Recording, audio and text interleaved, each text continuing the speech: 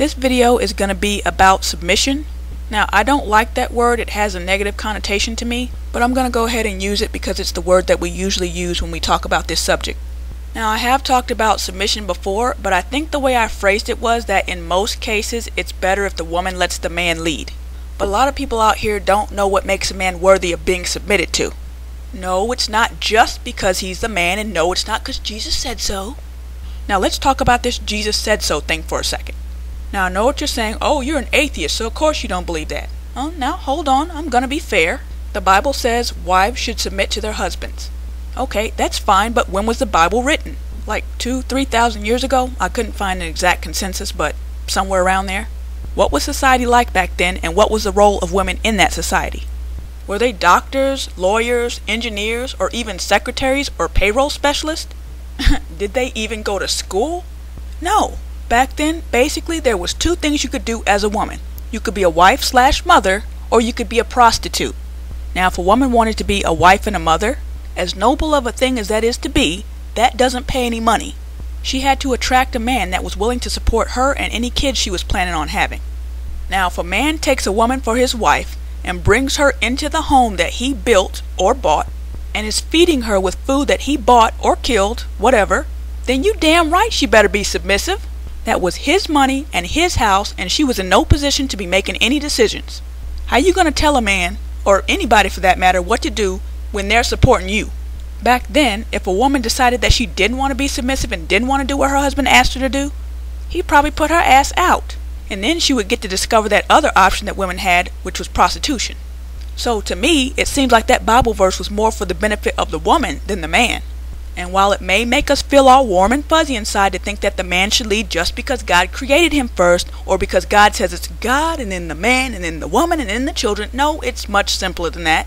The man was providing everything so the woman can either get with his program or get the fuck out. It's the same reason you submit to your boss, whether they're male or female. In general, people don't submit to their bosses because they love them or because God said so, it's because that boss signs their paycheck. So, having someone submit to you is not about your sex, it's about the position that you hold. Back in biblical times, men held the position of sole providers. Women had to submit in order to keep getting provided for. Now, before some Bible scholar comes in here and says, well, actually, women had lots of other jobs. Yeah, I know, I know. There was Dorcas the seamstress. But actually, I'm not even sure if she did that for a living. It might have been her charity work. But anyway, the point is, the best route for a woman to go back then was to marry a man and have him provide for her. Now, another reason that people submit to another person is because that person is older.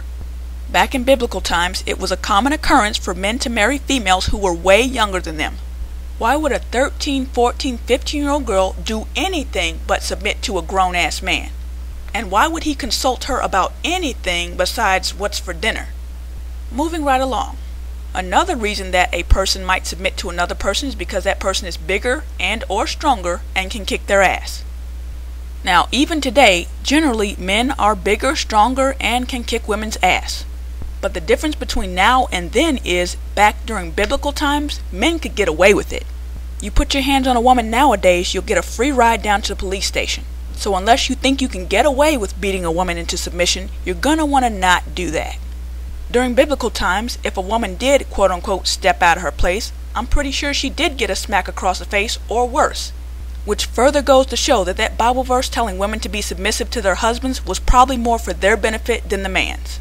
So if people want to use that verse as evidence of anything, they really should take into account the historical context. Now, let's fast forward to the year 2010, a time when most men are no longer the sole providers, people have started marrying people a lot closer to their own age, and physically forcing someone into submission is no longer acceptable. Why, in this day and age, do women need to submit to men? Well, they don't need to, but here's why they should. Like I said in one of my other videos, just because the times have changed doesn't mean that men's mentalities have changed. When somebody challenges a man, he's either going to submit to the person who's challenging him or there's going to be a fight. Now, if a man backs down from a fight with a man who's bigger than him, then that's understandable.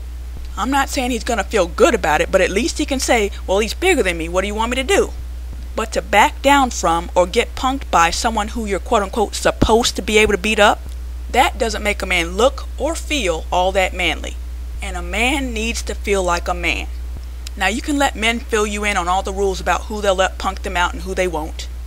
I think most men find it unacceptable to be punked or beat up by a male who's smaller than them. That is, unless he has a weapon or something. But apparently, for some men, it's unacceptable to be punked out by a gay dude. I remember hearing this news story, maybe it was 10 15 years ago, about this guy who was in the military, and he got in a fight with this gay guy who was also in the military, and the gay guy cleaned his clock. So after the fight, all the other men started teasing him about quote unquote letting a faggot beat him up and after a while he got so fed up with it that he took a bat and beat the gay dude to death. Now that's an extreme case, but that's just how serious some men take it when they get beat up by someone they're not supposed to get beat up by. So if men don't like to be beaten to submission by other men who may be gay or smaller than them, then you can only imagine how it makes them feel to get punked out by a woman. Like I said before, when you challenge a man, he's either going to submit to you or he's going to fight you.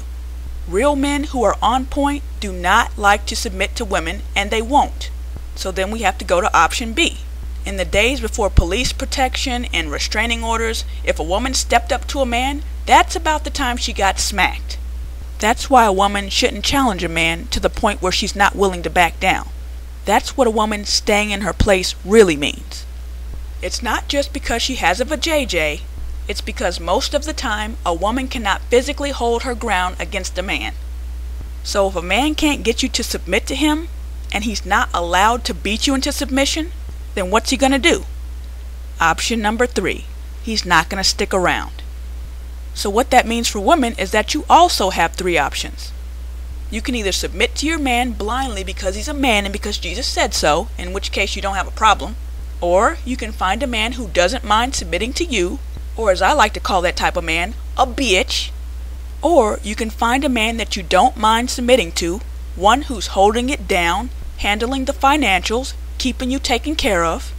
In that situation, why would you not defer to the man? Hopefully, he's a man who loves and cares about you enough to take your opinion into consideration in his decision making.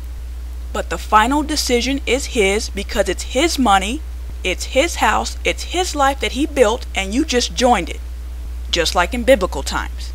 But anyway, what you want to remember is that when two people are in opposition and neither one will back down, that's a fight.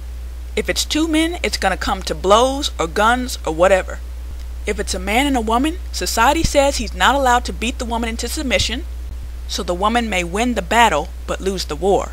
Because he'll back down from you one time, but while he's doing that, he'll be saying goodbye. He'll go find another woman who makes him feel like a man. Now, you may call a man like that weak, but he really didn't have any other option. I mean, what did you want him to do? Beat you down? What else could he do outside of kicking your ass to show you that he's strong? Because that's exactly how he would show another man that he's strong. An on point man is not going to brave the education world to get his degree, and then brave corporate America or fight to get his own business started, only to come home and do what you tell him to do. An on point man may have 99 problems, but a bitch ain't one. If you want an on point man, you're gonna have to defer to him. The male ego does not allow for him to submit to someone whose ass he feels he can kick unless that person is in a position of power over him like a police officer or a boss or the president or somebody who has a gun. So hopefully you can find a man who deserves your submission so it won't be a problem. And yes, I said deserves because don't get it twisted. Not every man deserves to be submitted to. It's an earned position.